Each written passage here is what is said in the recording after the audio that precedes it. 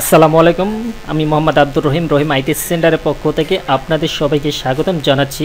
আশা করি আপনারা ভালো আছেন আর ভালো থাকেন, এই কামনা করি। বন্ধুরা, আমি আজকে আলোচনা করব বাংলাদেশ পাট গবেষণা ইনস্টিটিউটের নিয়োগ বিজ্ঞপ্তি নিয়ে। হ্যাঁ বন্ধুরা, বাংলাদেশ পাট গবেষণা ইনস্টিটিউট নিয়োগ বিজ্ঞপ্তি সার্চে আপনারা অবশ্যই যোগ্যতা থাকলে অ্যাপ্লিকেশন করতে পারেন। তার আগে একটু অনুরোধ করি, যদি সম্ভব হয়, সাবস্ক্রাইব করে রাখবেন আমার চ্যানেলটায় এবং লাইক করবেন ভিডিও। ঠিক আছে বন্ধুরা, তাহলে এখন যাই, আমরা সার্কুলারটা প্রথমে দেখি। গণপ্রজাতন্ত্রীর বাংলাদেশ সরকার কৃষি মন্ত্রণালয় বাংলাদেশ পাট গবেষণা ইনস্টিটিউট থেকে নিয়োগ বিজ্ঞপ্তি হয়েছে, রাজস্ব খাত, স্থায়ী এবং অস্থায়ী শূন্য পদে অস্থায়ীভাবে নিয়োগের জন্য প্রয়োজনীয় যোগ্যতা সম্পূর্ণ আগ্রহী বাংলাদেশের নাগরিকের কাছ থেকে আবেদন গ্রহণ করা হয়েছে। শূন্য পথে অস্থায়ীভাবে বললেও এটা পরবর্তীতে স্থায়ী হয়, তিন মাস, ছয় মাস পর এটা স্বাভাবিকভাবে বেশিরভাগটাই অস্থায়ীভাবে নিয়োগ হয় সরকারি। পরে স্থায়ীকরণ করা হয়ে থাকে। ঠিক আছে বন্ধুরা, সমস্যা নেই, আপনার নির্দ্বিধায় অ্যাপ্লিকেশন করবেন।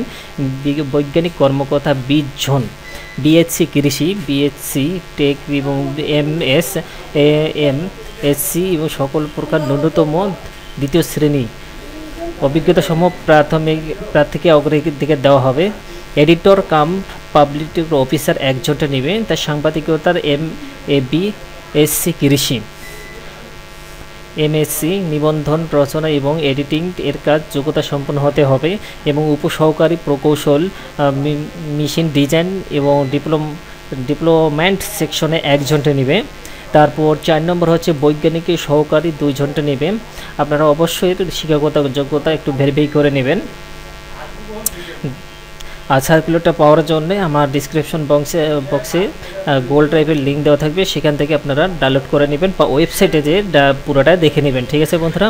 ষাট মুদ্রণ কাম কম্পিউটার অপারেটর একজন অফিস সহায়কী কাম কম্পিউটার হচ্ছে চারজন এইচএসসি পাস এটা অবশ্যই একটু ভালো পোস্ট আপনারা সবাই এখানে অ্যাপ্লিকেশন করতে পারবে।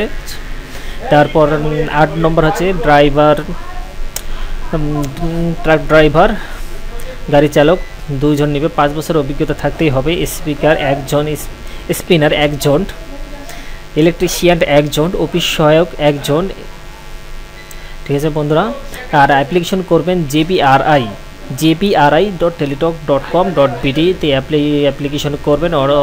অবশ্যই পনেরো তারিখ সাত মাস হাজার বাইশ তারিখে আঠারো থেকে ত্রিশ বছর হতে হবে মুক্তিযোদ্ধাদের ক্ষেত্রে বা, ত্রিশ, বত্রিশ বছর।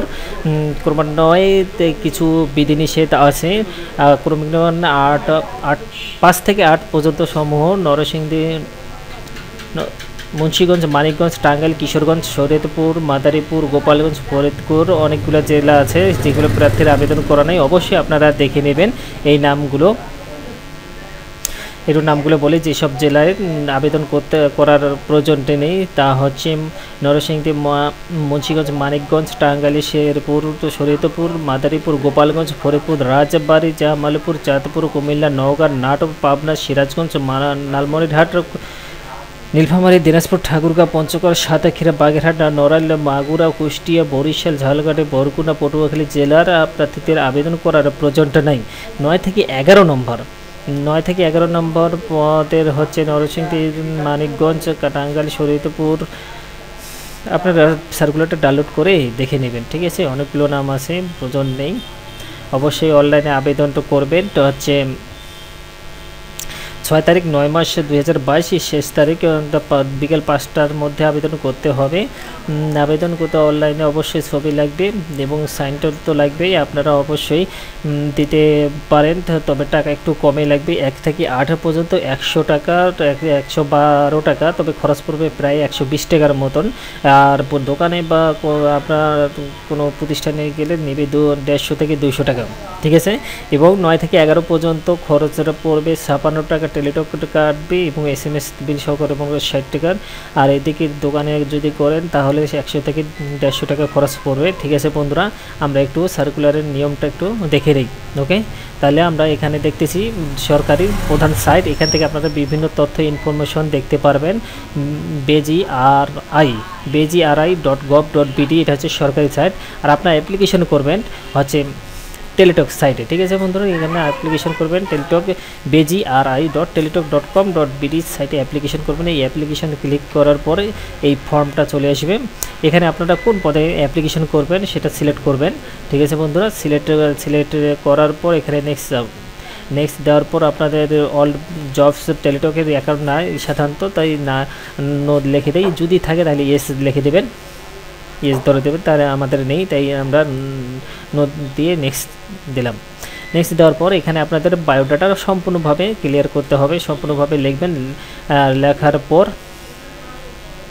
পুরা শিক্ষকতা যোগ্যতা দিবেন, দেওয়ার পর এখানে নিচে অবশ্যই ইয়েস দিবেন, কোটা ধরে দিবেন নন কোটা ক্যাপচা মারবেন এবং টিক চিহ্ন দেওয়ার পর এখানে নেক্সট যাবেন। নেক্সটের পরে আর যাচ্ছি না, কারণ আমি পুরন পুরোটা করলাম না। এর এরপরে যা প্রিভিউ দেখাবে, আপনারা যে বায়োডাটা দিলেন তা প্রিভিউ দেখাবে এবং সেখানে ছবি এবং সাইন অ্যাড করবেন।